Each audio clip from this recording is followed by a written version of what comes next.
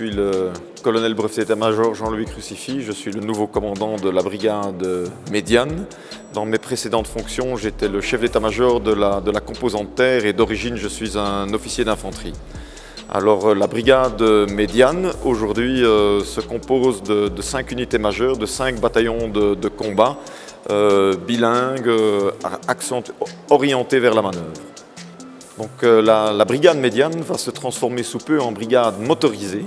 et il s'agira donc de créer à nouveau des structures pleinement interarmes pour permettre à nos personnels de, de vivre ensemble, de s'entraîner ensemble, d'opérer ensemble et surtout également de penser ensemble et de développer des processus communs pour, euh, une fois déployés en opération, arriver dans les meilleures conditions possibles. Alors euh, cette transformation, euh, elle passe par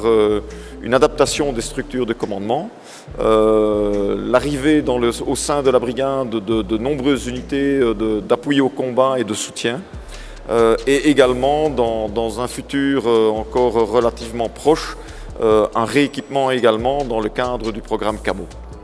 Donc l'évolution de la brigade motorisée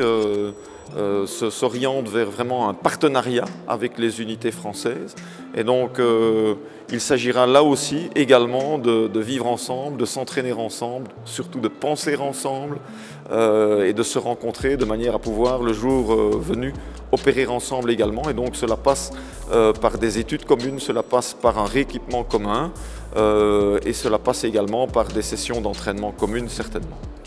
Donc euh, l'arrivée de, ces nouveaux véhicules pour nous représente vraiment un, gain en opérationnalité phénoménal parce qu'au-delà du véhicule en lui-même,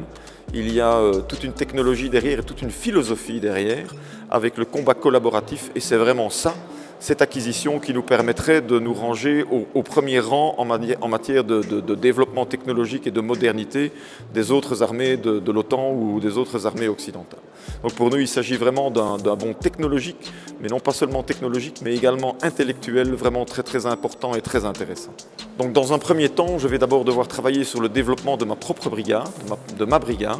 et ça, on va essayer de le mener à, un rythme soutenu. Donc il s'agira euh, dans un même temps finalement, donc ça ne se passera pas de manière successive mais vraisemblablement simultanée, d'accueillir mes nouvelles unités, d'adapter mes, structures de commandement, de faire cela en synchronisation avec mon échelon supérieur également, avec le général commandant la force terrestre euh, et à partir de ce moment-là,